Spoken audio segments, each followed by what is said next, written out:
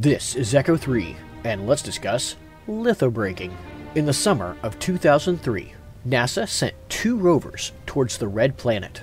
Spirit was launched first, and the record breaking Opportunity was launched about a month later.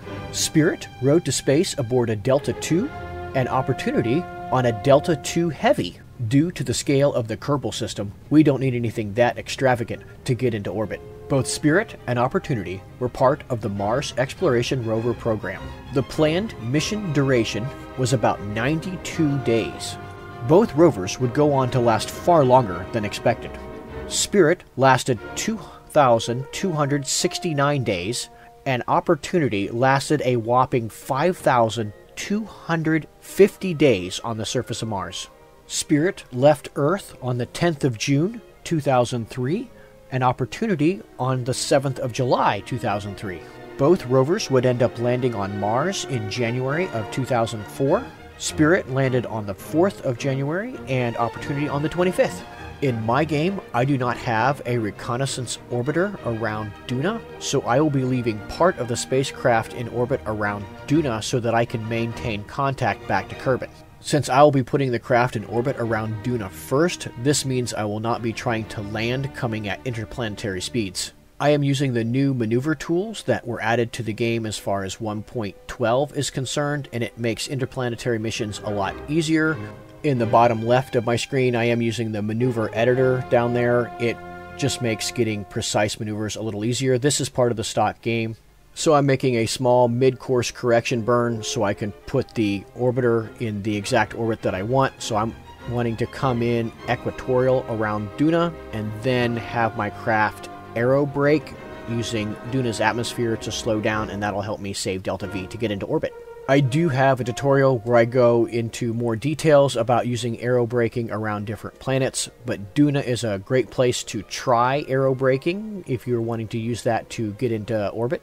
The red part on my orbital lines is not stock, that's part of the mod trajectories. It does make calculating future maneuvers going through the atmosphere a lot easier. It also makes calculating landings a lot easier, so if you have a computer and access to mods, I would recommend it. It's very useful. At our apoapsis, we will go ahead and set up a maneuver to get our orbiter into the correct orbit that we want around Duna. But I'm also going to separate the lander section because it is already on a suborbital trajectory and it'll be able to land on the light side of Duna in a pretty good location for us. Now, you are probably looking at this landing section and thinking it looks really weird, and you are correct. We have a tetrahedron covered with the inflatable heat shields. So the idea with this is these heat shields will inflate, and I'm going to use them as a kind of airbag to help the rover slow down and bounce safely to a landing on our red planet.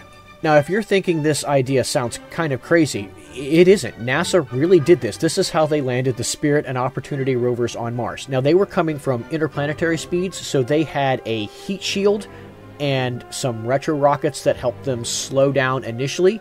They also had a drogue chute that would deploy and help the crafts slow down to some reasonable speeds. But as far as the landing is concerned, it was just a bunch of airbags around a tetrahedron box that contained the rovers.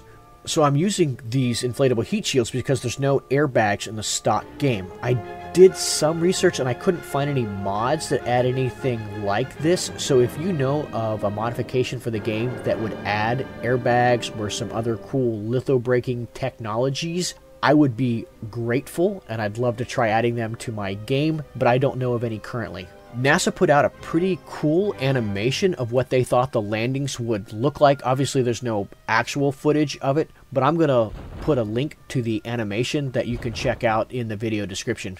So on our lander, we have the drogue chutes deployed. Hopefully this will slow us down just a little bit so we won't crash quite so hard. But after that, we're not using any kind of retro rockets or anything fancy. We're just going to let these cushions do their job and see if we can roll and come to a safe stop. Well, it looks like the rover is staying protected in there so far and it's handy that they're blowing up. I won't have to worry about deflating them or getting rid of them. So our rover, just like Spirit and Opportunity, is in this tetrahedron box thing that it will need to unfold so that the rover can get out. And this is very similar to how Spirit and Opportunity unpacked themselves in order to drive off. These hinges are part of the Breaking Ground DLC, so one of the cool things you can do with them is land like Spirit and Opportunity did. And it looks like our rover is completely intact and safely lithobraked onto the surface of Duna. So that's pretty cool. The real rovers had a lot more unfolding that they had to do with their solar panels and everything, so I made a little bit more simple version than NASA did, but ours did fit in our lander, and I think we can safely decouple and drive off. Eventually, the sand and dust storms put the two rovers out of commission. Our rover really only has to worry about my driving. So we are ready to explore Duna and break some records. I would love to hear what some of your favorite missions are, and if you have any recommendations for future content, please leave them in the comments below. I am Echo3, and thanks for joining me on this discussion about lithobraking. I will see you next time.